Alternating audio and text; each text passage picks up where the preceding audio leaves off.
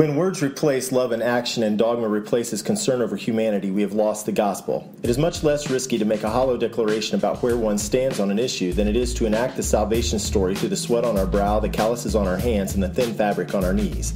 In our frantic pursuit of believing just right, we run the risk of missing the good news. God's steadfast love and mercy ask more of us than this. Gospel is and always has been good news to the poor, release to the captive, sight to the blind, freedom for the oppressed, and the Lord's favor upon all.